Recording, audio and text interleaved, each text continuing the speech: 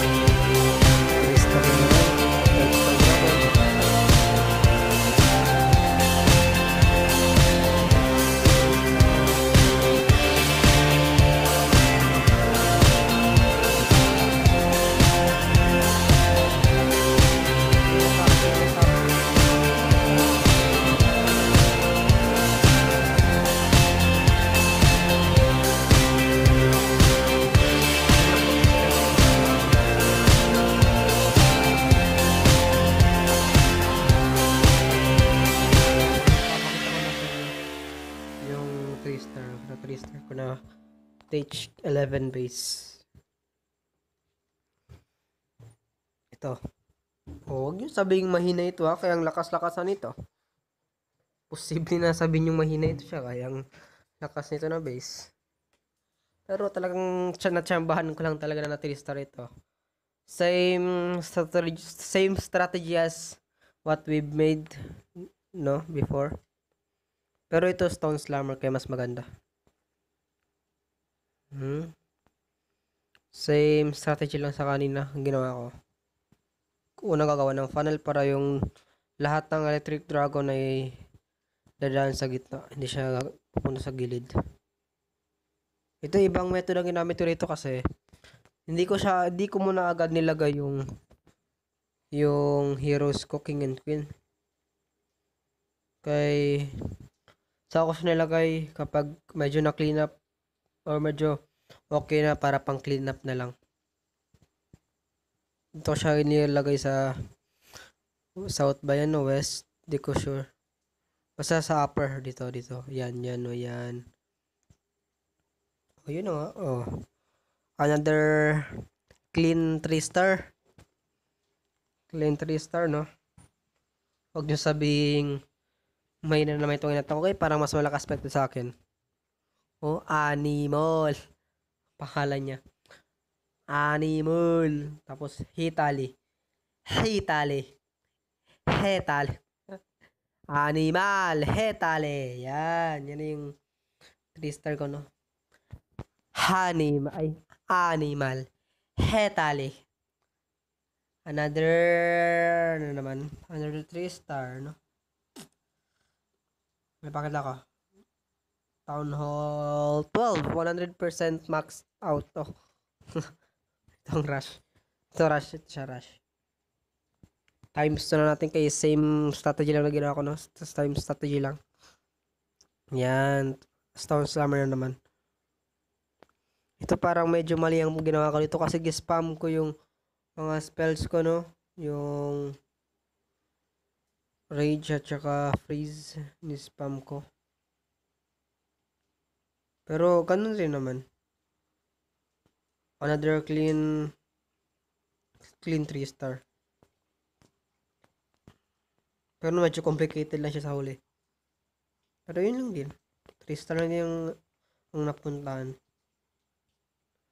Ito na, ito na ipapakita ko sa inyo na pinaka best 3 star.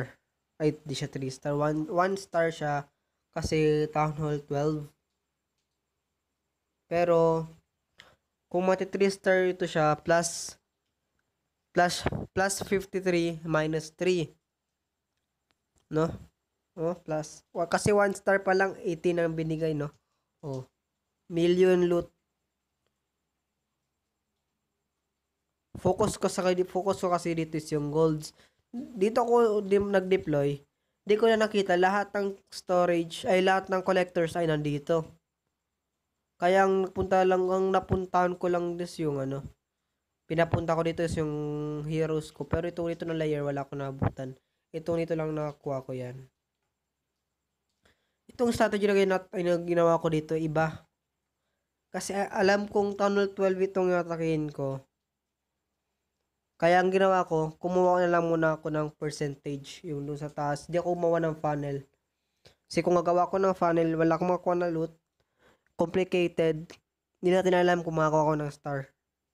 Saka second, na ano ko dito, second mistake ko dito, yung pag-spam ko ng mga uh, rage.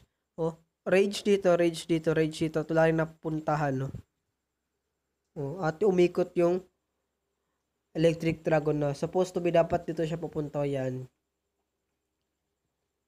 So, yun, no?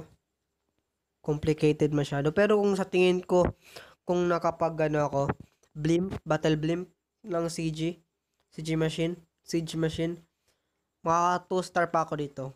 100% 2 star. Kasi yun ang ginagamit ko na, ano, yun ang ginagamit ko na strategy pag push sa legend. Kasi sa legend, expected naman na lahat ng kalaban natin is yung Tunnel 12, no? Tunnel 12 na max, semi-max. Minsan rush. Pero, kahit rush sila, grabe, grabe ka kalakas ng base na yun, no? So, no? Ito nga yung ano, attack ko. At least nakahabol pa, nakahabol din ako magkuha ng ano, gold. Kasi yung storage puno, pero konti lang nakuha ko. Kaya lahat ng gold nakafocus sa collector. So, kasi ang one collector, kung full talaga, is nasa 12,000 nata 30,000 ang laman niya, no? So, no? Yun na nga yun, no? Sana nagustuhan niyo itong video na ito. At sana, kung hindi nyo man nagugustuhan, okay lang naman. So, yun na nga yun, no? Wag na, bago kayo umalis, wag nyo kalimutang mag-subscribe sa aking channel, mag-like, or kung ayaw nyo, dislike. Tapos, kung gusto nyo mag-comment sa video na ito, wag na, wag kayong mahiya na i-comment sa comment section. So, yun na nga yun. Bye-bye.